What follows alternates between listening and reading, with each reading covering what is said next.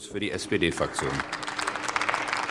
Alman Sosyal Demokrat Parti Genel Başkan Yardımcısı Aydan Özoğuz, hükümetin aldığı gelecek yıl entegrasyon kursları için ayrılan parada kesintiye gitme kararını yanlış bir adım olarak değerlendirdi. Gemeinsam mit den Grünen 1999 Özoğuz yaptığı yazılı açıklamada federal hükümetin 2013 yılında entegrasyon kurslarında 15 milyon avro kesintiye gitmeyi planladığını belirterek entegrasyon kurslarında kesintiye gidilmesi tamamen yanlış bir adımdır dedi.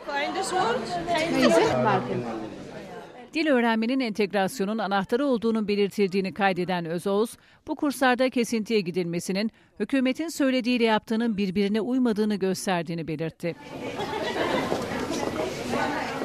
SPD Genel Başkan Yardımcısı Özoğuz, partisinin yeterli sayıda kursların açılması, öğretmenlerin daha iyi ücret almaları ve kursların yapıldığı sırada çocukların bakımı için bu paranın kesilmesi değil artırılması gerektiğini savunduğunu belirterek, yabancıların topluma uyumu için en önemli araç olan dilin ihmal edilmesini kabul edilemez olarak gördüklerini kaydetti. per Geburt zu verleihen. Herr Staatssekretär, ich weiß manchmal nicht, wo Sie das Ende